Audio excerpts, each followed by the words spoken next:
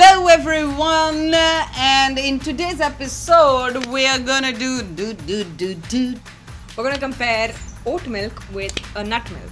So let's try this because a whole bunch of uh, oat milks and nut milks are going around. So I was very curious to actually find out what the difference between uh, nut milk and uh, oat milk would be.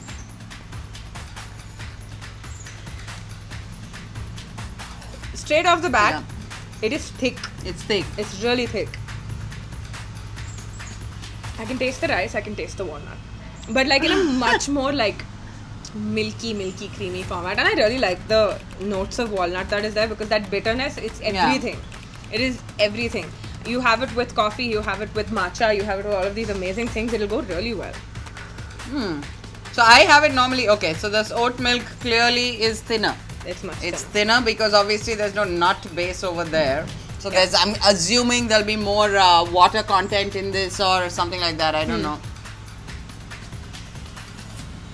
Oh wow. Oh, there is a distinct difference, and now I can taste the oat. Mm. In the previous one, I couldn't really. I mean, yeah, walnut I could, but here the oat taste is really, really out there. You know what? What this reminds me of? This reminds me of a breakfast cereal. It, it does. right? It does. you can, you can, if you get the milkiness, you get the oatiness also. yeah, yeah, yeah. It's both there. I think both of them would go really well with coffees. With Hmm. tea, maybe this one, but then I'm not sure. Yeah, because I think that'll add a flavor. Uh, this is more bland in it. Although the oat is pretty strong, but I think but with the tea, it'll. It's a neutral flavor. This yeah, one has this like one a is sharp nut. overpowering. Yeah, correct.